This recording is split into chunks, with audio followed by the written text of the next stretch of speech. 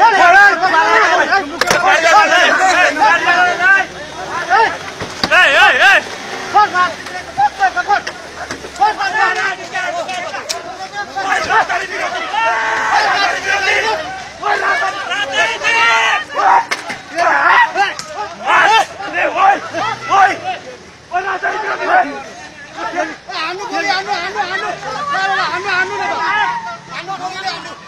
गाडी तर्साउँदै ए तर्साउँदै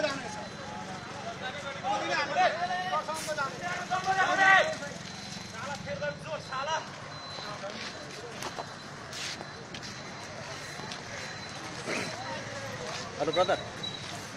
है। के भइरहेछ? के भएको भन्नुहोस् त।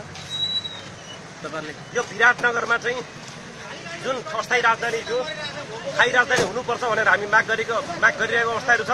यसमा चाहिँ नेपाल कम्युनिस्ट पार्टीले आफ्नो दुई तिहाईको दम्बमा विराटनगरबाट जुन राजधानी अन्त हटाउने प्रयास गरिरहेको छ यसका लागि चाहिँ विराटनगरका तमाम नागरिक समाज मोरङ व्यापार सङ्घ उद्योग सङ्गठन मोरङ प्यासन लगायत सम्पूर्ण बौद्धिक सञ्जालहरू एक भएर हामीले राजधानी विराटनगर हुनुपर्छ भन्ने मागका साथ अनिश्चितकालीन विराटनगर बन्द गराएका छौँ। यसमा चाहिँ सरकारी पक्षका केही राज्यका मान्छेहरूले जुन बन्दको अभियान गर्न खोजिरहेका छन् यसैको निम्ति हामीले शान्तिपूर्ण आन्दोलन गरेको कुरा तपाईँहरूमा राख्न चाहन्छु। शान्तिपूर्ण आन्दोलनमा अहिले पनि प्रदेशकै गाडीमा तोडफोड गरियो भन्ने देखियो। एउटा कुरो सुन्नुहोस्। यो उहाँहरूले हामीलाई चेता च्यालेन्ज गरेको हो। विराटनगर अहिले मर्ता क्या नै गर्दाको अवस्थाहरू छ। चाहे जोसुकै होस् सरकारी गाडी। कुनै बन्दलाई कुनै बेला यो गाडी चल्न दिँदैनौँ यो हाम्रो अनिश्चितकालीन बन्द हो।